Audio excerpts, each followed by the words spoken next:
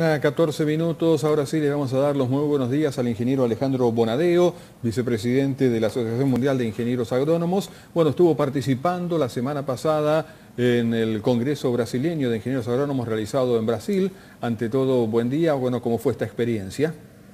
Bueno, como siempre, un gusto. Buen día, Rodolfo, Claudio y toda la audiencia. Bueno, la verdad que ha sido, eh, a ver, un gusto saber que has estado por allí Además, con semejante representación, Alejandro.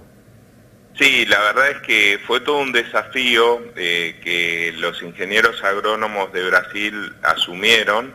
Es el primer evento híbrido con presencialidad y, por los medios eh, audiovisuales y utilizando toda la tecnología de toda América, desde Canadá a la Argentina, que se desarrolla como los congresos que hacíamos en distintos países, ¿no? Así que ha sido un desafío de, cómo llevar adelante eh, esta actividad de transmitir el conocimiento, de marcar los distintos ejes sobre la política que tiene que ver con la profesión de ingenieros agrónomos y en el marco de, eh, de este encuentro en Florianápolis. Correcto. Básicamente, ¿cuál es la realidad que se observa allí en Brasil comparado con la realidad argentina? No, eh, digamos, la problemática es, global y, si bien hay ciertos tópicos que, tienen que ver con, la pandemia, eh, hay algo que nos une, que la producción nunca paró eh, en ninguno de los países y dentro de la producción el ingeniero agrónomo tiene la responsabilidad y por otro lado la habilidad para poder llevar adelante todo el asesoramiento que los productores de cada punto de, los países de América en este caso eh, requerían. Entonces, esto hay que marcarlo muy claro, porque las góndolas en, los supermercados, en, los negocios de barrio o en, los, eh, o en las estructuras más grandes, fueron abastecidas continuamente porque la producción nunca paró. Yo, yo digamos, hago mucho énfasis, porque fíjense cómo, cómo el mundo cambió en este aspecto de la movilidad, de las actividades, pero tanto la salud como los alimentos no podían parar, siendo el alimento el primer medicamento, ¿no? Como decía Aristóteles. Entonces, eh, hay un contexto donde el ingeniero agrónomo por ahí pasa invisible, y esta es nuestra responsabilidad desde la Asociación Mundial de Ingenieros Agrónomos, no solamente estar para solucionar los problemas, sino para anticipar los cambios. Y en este mundo en transformación, como decía el eslogan del 32 Congreso Brasileño de Agronomía, desafíos en un mundo en transformación, los ingenieros agrónomos tenemos para decir mucho y para hacer mucho.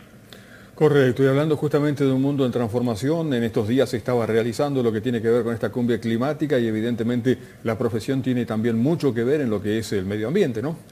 Sí, sí, nosotros, digamos, como Asociación Mundial de Ingenieros Agrónomos, trabajamos unidos a FAO y hemos generado varios documentos eh, presentados en Roma donde la visión de lo ambiental eh, tiene sus aristas siempre con esta cuestión no menor que es la producción.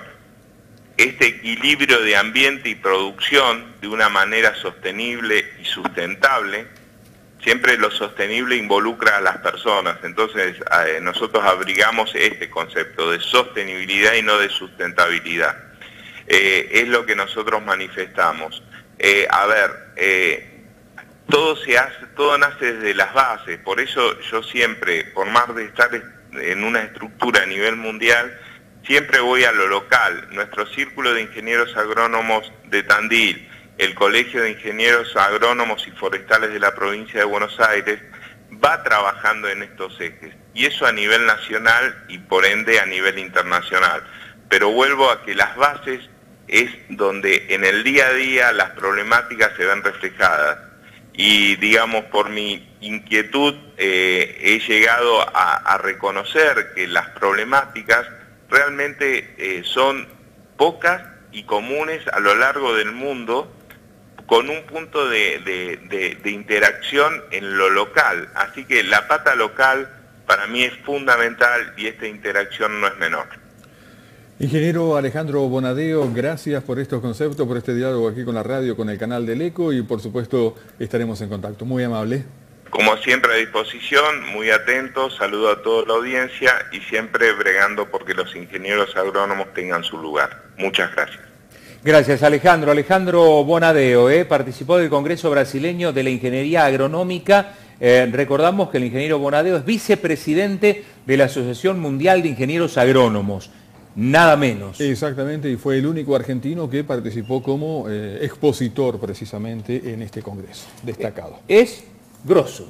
Exactamente. Es grosso, porque la verdad que ha, logrado estar presente eh, en, a ver, en los lugares más importantes de representación de la ingeniería agronómica del mundo, el ingeniero Bonadeo.